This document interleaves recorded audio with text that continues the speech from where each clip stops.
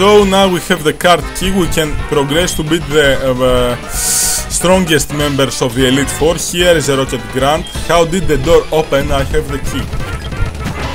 Okay, Raticate versus Tauros. I uh, go for the Sucker Punch, I go for the Strength. And now it's a Koffing. I go for the Zen Headbutt and Koffing is down. We're ready to go through. Okay, here. Proton. I beat this guy on the Slowpoke well. Let's see if he has gotten any better. He's having Golbat. I go for the Zen Headbutt. Golbat is down and Wheezing. I go for another Zen Headbutt. Wheezing survives. Let's use and miss Strength. Okay. This item here is Ultra Ball. I must heal my Tauros health. Let's see what do I have. Okay.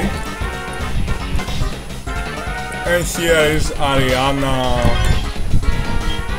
I'm about to beat her again. Let's see what she has now. What she has now. She's having Arbok. We both lower each other's attack. I go for the Zen Headbutt. She goes for the Glare, of course, uh, but I don't like status. Okay, I will use full heal.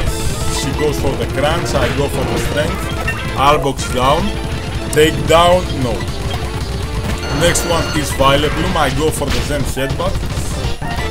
I go for another Zen Headbutt. She missed Sleep Powder. And Murkrow.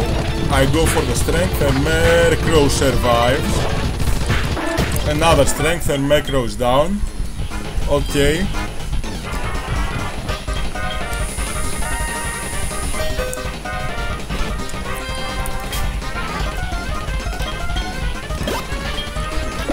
Now we're about to have a battle with this guy. Archer. Okay, Archer, are you ready to get raped? Let's see. He's having Houndour. I go for the strength. Houndour is down. Koffing. I go for the Zen Headbutt. Koffing survives and lowers my accuracy. I'm 37 and he also has a Houndoom. I go for the strength. It's a 2KO.